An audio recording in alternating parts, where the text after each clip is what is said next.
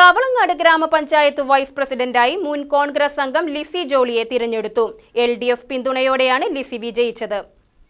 കവളങ്ങാട് ഗ്രാമപഞ്ചായത്തിന്റെ വൈസ് പ്രസിഡന്റായി ലിസി ജോളി ഏഴിനെതിരെ പതിനൊന്ന് വോട്ടുകൾക്കാണ് തെരഞ്ഞെടുക്കപ്പെട്ടത്. ലിസി ഉൾപ്പെടെയുള്ള മൂന്ന് മുൻ കോൺഗ്രസ് അംഗങ്ങളുടെയും എട്ട് എൽ ഡി എഫ് അംഗങ്ങളുടെയും വോട്ടാണ് ലിസിക്ക് ലഭിച്ചത്. എതിർ സ്ഥാനാർത്ഥിയായിരുന്ന മുൻ വൈസ് പ്രസിഡന്റ് ജിൻസിയ ബിജുവിന് യു ഡി എഫിന്റെ ഏഴ് വോട്ടുകൾ ലഭിച്ചു. ജിൻസിയ ബിജു അവിശ്വാസത്തിലൂടെ പുറത്തായതിനെ തുടർന്നാണ് തെരഞ്ഞെടുപ്പ് നടന്നത്.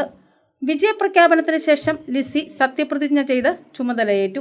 വൈസ് പ്രസിഡന്റായി തിരഞ്ഞെടുക്കപ്പെട്ട പി സി ജോളി എന്ന ഞാൻ നിയമാനുസരണം നടപ്പാക്കിയ ഇന്ത്യൻ ഭരണഘടനയോട് യഥാർത്ഥമായ വിശ്വാസവും പൂർണ പുലർത്തുമെന്നും ഇന്ത്യയുടെ പരമാധികാരവും അഖണ്ഡതയും നിലനിർത്തുമെന്നും ഭയാശങ്ക കൂടാതെ മമതയോ വിദ്വേഷമോ കൂടാതെ ഞാൻ എന്റെ ഔദ്യോഗിക കൃത്യങ്ങൾ യഥാവിധിയായും വിശ്വസ്തയോടും എന്റെ പരമാവധി കഴിവ് പ്രയോജനപ്പെടുത്തിയും നിർവഹിക്കുമെന്ന് തുടർന്ന് ലിസി ജോളിയെ മറ്റ് മെമ്പർമാരും നേതാക്കളും അനുമോദിച്ചു. ഏഴാം വാർഡ് മെമ്പറാണ് ലിസി.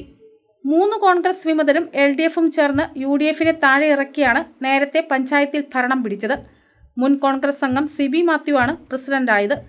ലിസി ജോളി വൈസ് പ്രസിഡന്റ് ആയതോടെ പഞ്ചായത്ത് ഭരണം എൽ ഡി എഫ് നിയന്ത്രണത്തോടെ കോൺഗ്രസ് വിമതരുടെ കൈകളിലായി കവളങ്ങാട് ഗ്രാമപഞ്ചായത്തിന്റെ വൈസ് പ്രസിഡന്റായി ഇന്ന് ചുമതലയേറ്റിരിക്കുകയാണ് എന്നിൽ വിശുദ്ധമായിരിക്കുന്ന ഉത്തരവാദിത്തങ്ങൾ ഏറ്റവും കൃത്യമായും വ്യക്തമായും മുന്നോട്ട് കൊണ്ടുപോകണമെന്നാണ് എന്റെ ആഗ്രഹം.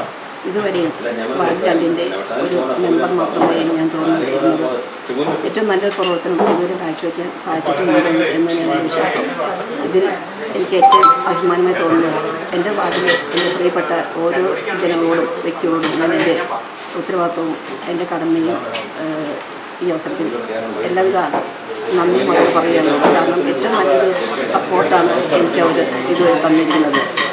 ഒരു വൈസ് പ്രസിഡന്റ് എന്ന നിലയിൽ ഇനി തിരഞ്ഞെടുക്കപ്പെട്ടു എന്നുണ്ടെങ്കിൽ എല്ലാവരുടെയും നല്ലൊരു സപ്പോർട്ട് എനിക്ക് പിന്നിലുണ്ട് എന്നുള്ള കാര്യം ഞാൻ അറിയിക്കുകയാണ്.